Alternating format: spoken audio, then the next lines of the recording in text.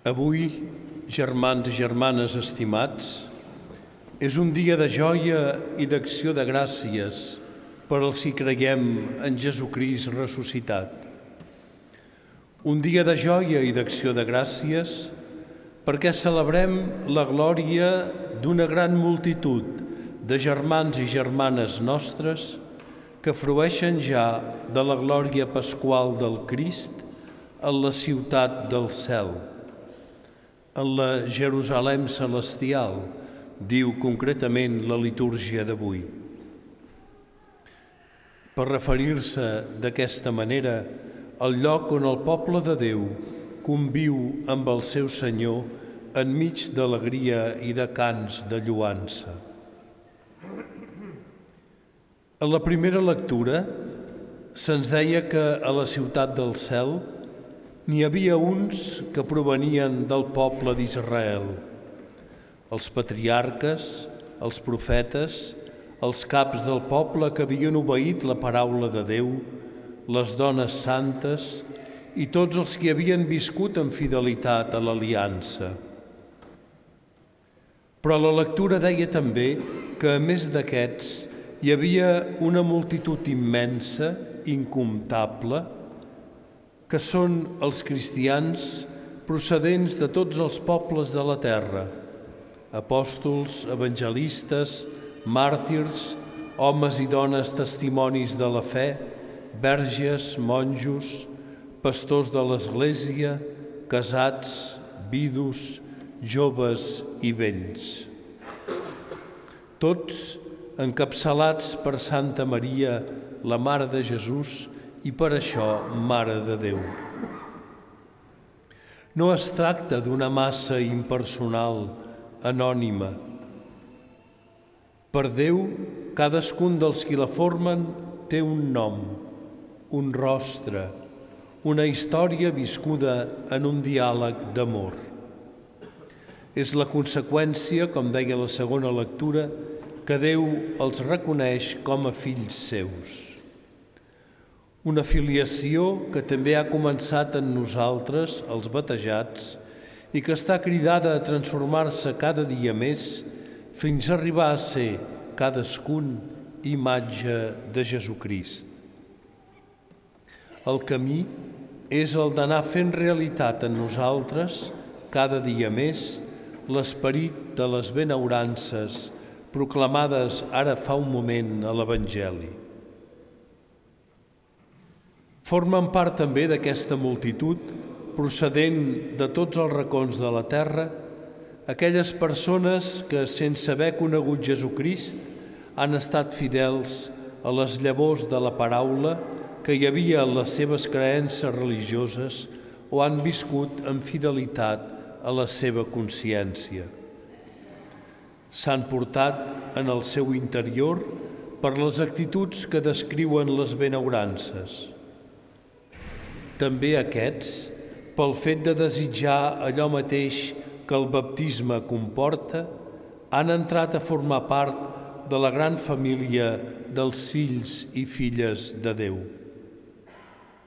D'aquesta manera, a la Jerusalem celestial es va realitzant la unitat del gènere humà volguda per Déu des de la creació del món i de la qual l'Església, que estesa d'Orient a Occident, peregrina a la terra, n'és una anticipació.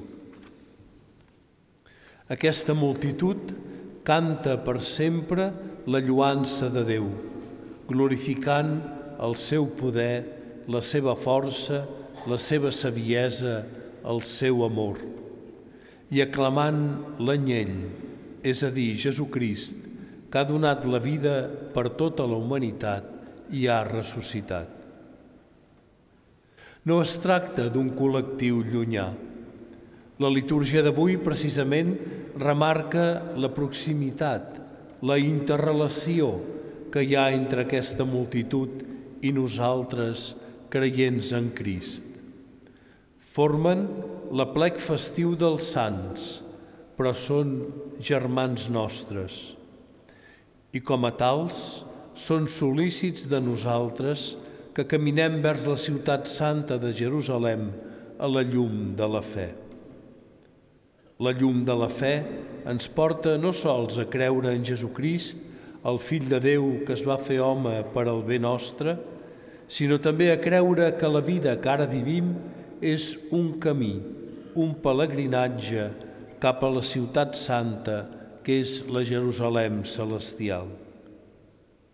Això vol dir que al terme de la nostra vida no hi ha el buit, el no res, sinó una vida per sempre en la plenitud de la joia i de la fraternitat, que ens és oferta si procurem viure l'esperit de les benaurances. Com que la ruta se'ns pot fer feixuga, la multitud de germans nostres que han arribat a terme i ja són amb Déu ens és un estímul, un exemple i un ajut. Un estímul perquè ens encoratja a continuar endavant malgrat les dificultats que puguem trobar. Un exemple perquè veient com ells varen ser fidels a l'Evangeli, podem aprendre a ser-ho nosaltres en les nostres circumstàncies personals. I un ajut perquè amb la seva pregària intercedeixen per nosaltres. No ens ha de sorprendre que si volem seguir l'Evangeli o volem ser fidels a la nostra consciència fent el bé, trobem dificultats. La primera lectura mateixa ens deia que tots els qui són ja amb Déu han passat per la gran tribulació, és a dir, per les proves de la incomprensió i fins de la persecució. Jesús mateix ja havia dit que les dificultats són inherents a la coherència cristiana. Ai, quan tothom dirà bé de vosaltres, havia dit. I en canvi, tal com hem sentit a l'Evangeli, feliços els perseguits pel fet de ser justos.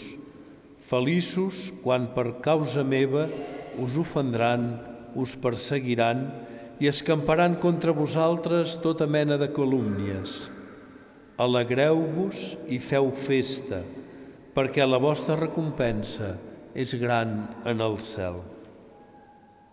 Avui contemplem com és així en la gran assemblea dels sants que ja són amb Déu i confiem en la seva pregària per nosaltres perquè sapiguem ser fidels en el que ens toca de viure i també en la construcció d'una societat més justa, més dialogant i més fraterna que superi les coses negatives que hi ha en la situació actual. La celebració de l'Eucaristia ens uneix a la multitud dels sants i dels àngels per cantar i glorificar junts el Déu tres vegades sant, que en Jesucrist s'ha fet el nostre germà i el nostre Salvador.